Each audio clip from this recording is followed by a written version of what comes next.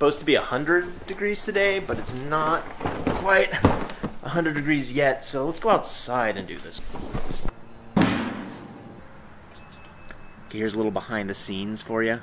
I actually unboxed this like two months ago, but for this video, I want to do an unboxing. So I'm actually gonna go rebox it and then unbox it. So you gotta promise to be surprised when I'm doing the unboxing and pretend that it's the first time.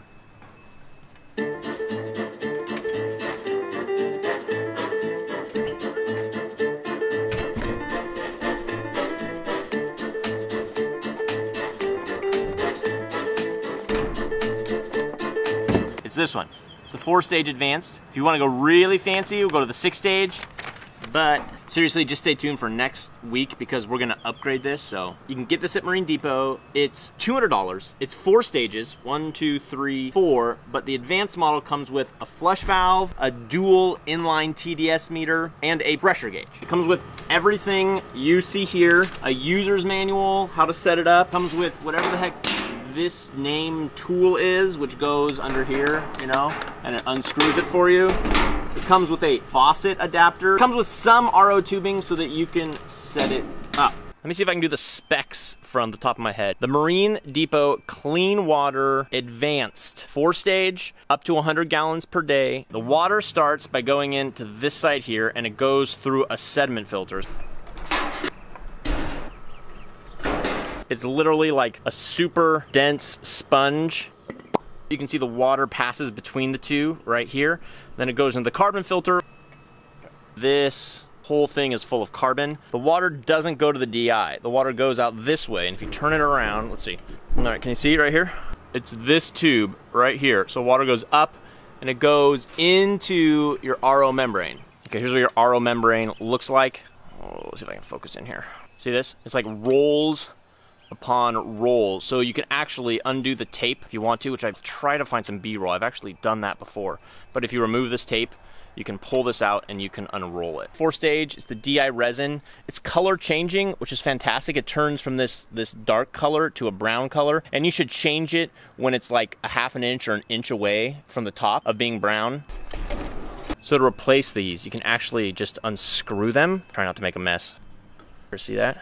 See if I can zoom in here. So this is what DI resin looks like. It's like all these little beads, blue and brown, and the blue ones I think are the ones that change the color. You just buy replacement color changing DI resin from Marine Depot. After the carbon filter is where the pressure gauge kicks in. It will let you know if your two pre-filters are clogged, and the higher the better, you're gonna get way more product water. You also have a dual inline TDS meter. Number one, we're gonna attach the hose adapter. Step Two, you will need to remove the DI cartridge from the far left chamber before turning on the cold water supply. Oh, remove. Place. Check. Step three, allow the cold water to run for five minutes to flush the sediment and carbon block filters.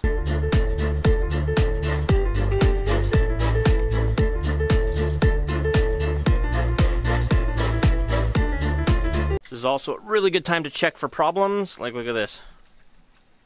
That should not be happening.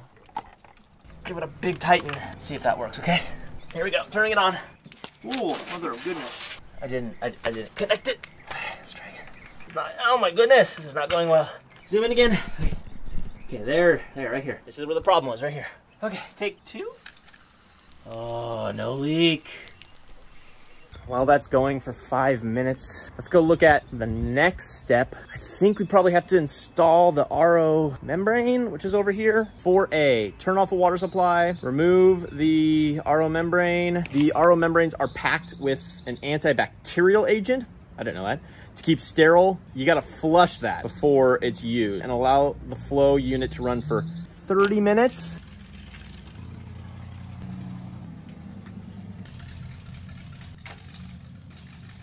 Couple things to note here, you should see water coming out of both the wastewater and the clean water. You know what I really should do is I got 30 minutes and it's only like 90 out. It's not too hot yet, so let's go for my run. It's my wife right there. She's playing a game. Am I lying? Am I lying?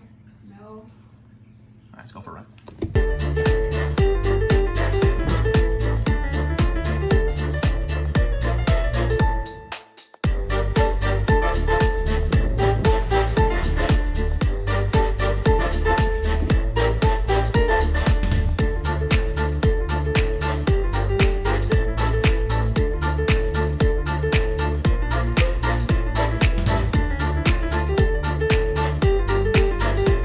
Allow the system flush 30 minutes, then reinstall DI cartridge, which we have here. Make two gallons, dispose it.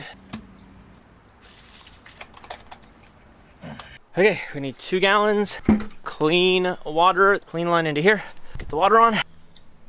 Two gallons should not take long with this system, but next week when we upgrade it, it's gonna be even faster. Focus, focus. There, that's focused. Okay, two gallons.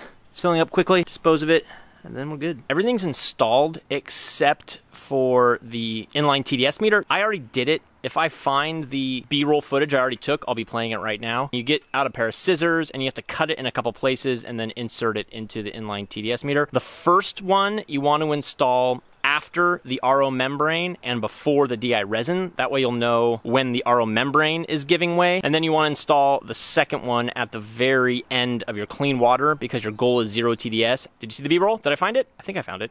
My water pressure is okay. It's approaching 60. The product water, it should be zero. Here we go. Let's see. Ready? Zero. I think that's about two gallons, about halfway full. Two and a half gallons flushed.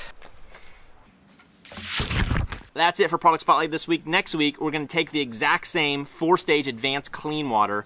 We're gonna add two more DI resin containers. We're gonna add an additional RO membrane. We're gonna mount it. We're gonna drill holes in our RO reservoir to kind of automate the process and really make it just that much better. Is there anything else?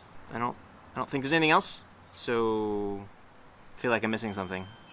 No, not missing anything. The end.